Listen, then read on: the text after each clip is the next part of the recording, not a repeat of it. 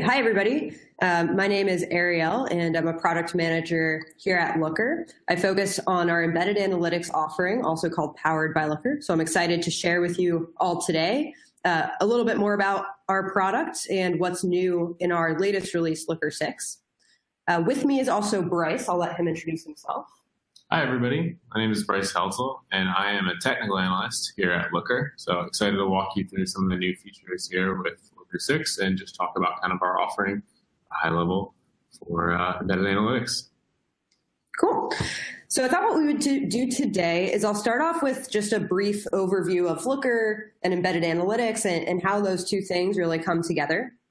And then I'll share the good stuff, which is what's new in our Looker 6 release. And then I'll pass it back to Bryce to actually walk everybody through a live demo. So to start out, for, for anyone who may who may be new to Looker, just a quick background on, on what we are and what we do. Looker is a business intelligence platform uh, that helps everybody in an organization explore, analyze, and share their data. So we're what you'd consider a full-fledged business intelligence tool. Now, on the other side of the world, you've got business applications. Um, business applications are traditionally things like CRM systems, HR tools, uh, but today they range. Um, they, they range and can be anything from an e-commerce portal uh, to a marketing automation system. And embedded analytics is when you take all of the goodness of uh, a full powered BI product like Looker and you make that accessible for your customers directly inside your own application. And the reason that's powerful is because within that business application, maybe it's that e-commerce portal, that's where your customers are spending their time, that's where they're doing their job. It's very operational in nature. And so being able to give them data at their fingertips, the moment and the place that they need it, is a really big value add um, to our customers and their products. So there's a lot of reasons that folks choose to go with um, a business intelligence tool like Looker for their embedded offering rather than building it in-house. Uh, I'll, I'll, let Bryce kind of share as he goes through the demo a little bit more of this, but Looker in particular has a really strong data model that that makes embedding analytics very scalable. Um, whereas with instead of having to rebuild charts or analytics or dashboards for every single client, you can really quickly scale up to thousands or hundreds of thousands of, of clients using just um, one data model and one dashboard in Looker, or as many as you may need.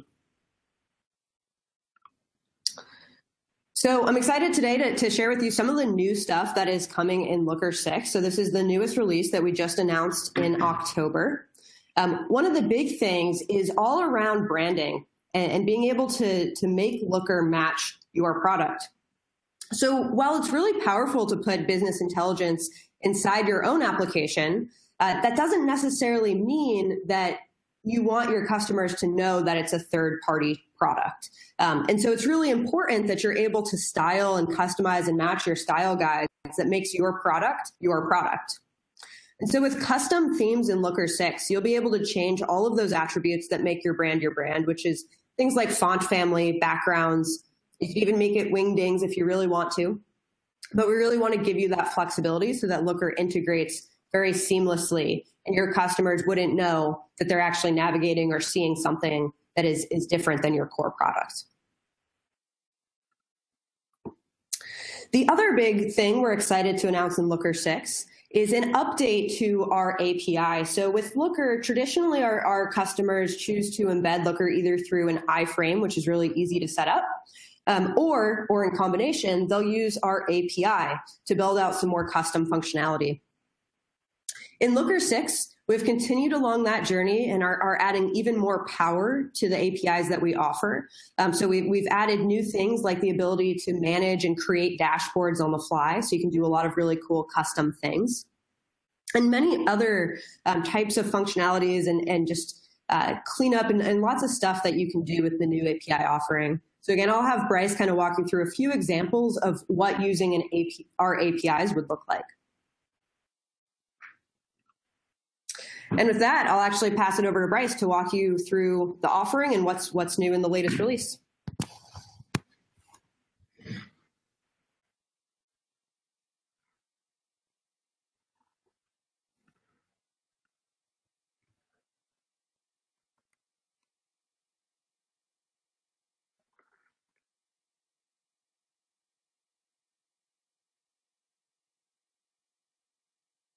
Excellent. Bear with us here. Fantastic. Thanks, Arielle. So essentially what we want to walk you through here is a sample of how some of our customers may actually be using Looker for those embedded analytics. And I'm walking through a couple of the features that Arielle mentioned around utilizing that new API, as well as themes within your existing uh, Looker installation, or if you're interested. So jumping into our sample site here fashionly, we're going to take a look at a sample e-commerce store. So you can think of just any kind of online clothing store. And we're actually going to log in here as if we were a customer of that of that store, or, or sorry, yeah, a brand of that store, right? Where we can actually see how our brand is performing within this online store. So as we log in as this Allegra K brand for this uh, online store, you can see here as we land on this first page, Looker is not just about visualizations per se, but this ability as a data platform to pull in data wherever we may need it in order to display it for our customers. So as you see these different data points, actually come to the bottom and show the sources of this. You can see here everything in the purple is actually going to be pulled back through Looker's API. So we can leverage the data models that you've created within Looker to automate this process where users can still authenticate and get data that's relevant to them, but really in a reusable way that is going to be appropriate for the customer that's actually logged in. But of course, we do want that ability for you to utilize those visualizations and the dashboards that you have created based off of your data models within Looker. So if we jump over to this dashboard here on the left side with our business pulse, again, as Allegra K, as I'm logged in here to see my brand and how it's performing within the store, I can see high level KPIs, how we're tracking towards goals, and basic visualizations that you as a business have exposed out for the Allegra K customer. You still get some of the great functionality that you expect to see out of Looker. So the ability to uh, enable your customers to filter on the fly, drill into row level detail, or even download, save, and schedule content themselves outside of just your portal. So this is all really granularly customizable, right? So you can decide exactly what you want folks to be able to do, whether it be able to be filtering, downloading, scheduling, and so forth, even drilling. You really control what you're going to enable your customers to do with the platform. If we dive into it a little bit more, you know, we start to get into this idea of maybe you know, this is could be considered you know, basic analytics, right? To give these dashboards and things out. But as you kind of get into this idea of uh, premium analytics, where maybe this is even a new offering for some of your customers that really want to dig into the data that you are currently tracking, where you may actually give them different uh, ways to analyze this.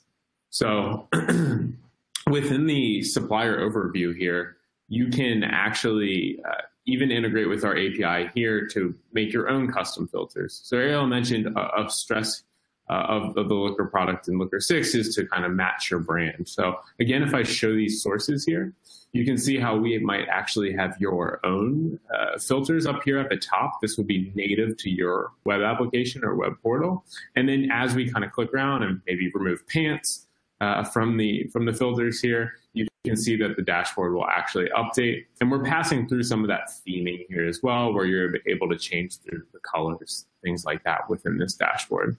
So this is kind of what we'll call a hybrid approach in between the API and our iframe embed. You also have the ability with the API to pull back data directly. So if you wanted to create your own custom visual outside of Looker, so maybe like this bubble chart, you could actually pull back that data via the API and display it however you see fit. Again, whether it's just a table or data points on the page or a visual back here. The last kind of hybrid approach that we could take a brief look at would be something like this report selector. So this one's especially uh, exciting for me as someone that you know gives you really a way with a hybrid approach to allow non-technical resources to really enable uh, reports to be shown within your web portal. So we can utilize the API to actually pull back a space or a folder of reports and then allow our end users to actually click on one, submit it out, and pull back that next report. So just by saving a report within Looker, maybe I'm a, a, customer success manager or a brand manager, and I just want to save a new report for my customer into a space, we can pull that back via the API and then display that visual or that report right here within Looker without involving any engineering resources. The kind of final step that some of our uh, customers are taking today in an embedded analytics solution would be a full-blown custom reporting solution. So that's where we get really down to this ad hoc analysis where you can actually have the power to embed the Explorer directly within your web portal as well. So if you want to choose fields or, or measures, KPIs that you want your customers. So that's kind of a high level of our, our sample embed site of just, just kind of highlighting some of the different things that you can do with embedded analytics in Looker and highlighting some of the different ways that customers today are using this. So really a combination of, of iframes, API, or even a hybrid approach to this. Now, briefly, I just wanted to kind of walk into the, the Looker application itself, just to lastly give you kind of a, a, quick overview of what themes might look like within Looker today. So this is a, a new feature in Looker 6 that Arielle mentioned. So I can come in and actually see some of these uh, basic themes that we've been set up in our admin panel. And if I take a look at the avatar one here that we created today for this purpose of this webinar, uh, you can see, you know, we are able to select a font family or upload our own custom font file. We can start to use hex codes to change the colors of the page to match our branding and style and choose things like showing the dashboard tile or adding a filter bar uh, or allowing customers to filter based on you know, what's displayed there in the iframe. So we you know, basically wanted to change some things around, throw a new font on here, and then you can kind of see what the, the basic idea might look like here, where we've kind of changed the font around, but you still get the ability to come in, actually drill through things. And so if I, if we look at uh, an actual page here, we can actually drill through and you'll see the fonts actually come through as we, as we move around. So that is, uh, you know, one of the exciting new features within Looker 6 that you can actually pass through those themes and custom branding directly within Looker. And again, utilizing that API to actually pull back data directly within your embedded application. So thanks for joining, and that's what uh, essentially we wanted to walk through today to show you Looker 6. Cool, thanks Bryce. So let's see if we can go back to the slides. All right.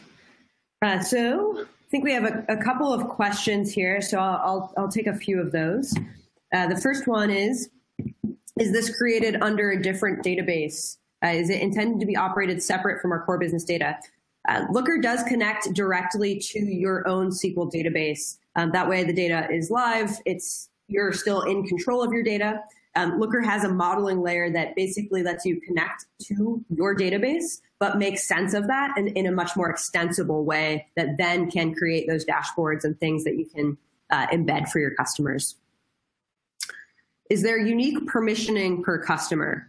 Uh, yes, there is. So Looker can handle permissioning in a number of different ways. It, we can really match whatever type of setup you need based on the data that you're collecting uh, on your own. So we can do row level permissioning, column level, content level. Uh, whether you have a single tenant or a multi-tenant application, Looker can really flex to work with any of those. Okay, is there a public demo site available to explore Looker yourself? Uh, we do have a couple of examples. I would definitely um, suggest reaching out to somebody from our team and we can we can share some i think i have some emails here at the end and they can either give you access to one of those example sites or walk you through a more personalized demo right. Is this application compatible with SQL? Uh, yes, we do connect directly to any SQL database. But we wouldn't want, so I think this question goes back to the connecting directly to your database. Uh, we wouldn't want it to commingle with your main data source. Uh, we, we definitely, so the way that we typically recommend our customers is that they don't hook in directly to their operational database. Um, while you can and it would work, we recommend creating either a follower or a replica, or even better yet, a data warehouse for that. So there was one about uh, spanning across multiple databases. So if you do have customers that have data in separate uh, databases, uh, there is a way to pass connections across at a customer level as well. So we do support that. All right, I'll let Bryce answer a couple more. Sure. There's uh, are there comprehensive instructions on how to do this in the Looker docs or discourse? So there definitely is great documentation available for all of these features. We do pride ourselves on that documentation, and so within uh, just look, taking a look at powered by Looker is really uh, what this is kind of advertised as. So if you look for powered by Looker embedded analytics, uh, you'll be able to find some of that great documentation readily available within our documentation. I heard you added in six uh, a greater ability to ex- embed explanatory info in the UI. This is of interest because we want to help our customers use the ad hoc reporting, but it's not easy for them to know what data elements to choose, for example. That's a great use case for Looker embedded. We do have a great offering in terms of self-service, like we looked at on that last page of Fashionly, where you can actually embed that Explore uh, what we usually recommend and see customers doing is really curating that explore section for their customers. So that's the power of the Looker modeling layer where you can really hide fields that are unimportant, relabel things that are going to be you know really relevant for those customers and you want to make sure that they're titled appropriately or even adding tooltips there uh, but really kind of slimming it down to make sure it's going to be appropriate for those customers so that they get a great experience creating self-service reporting.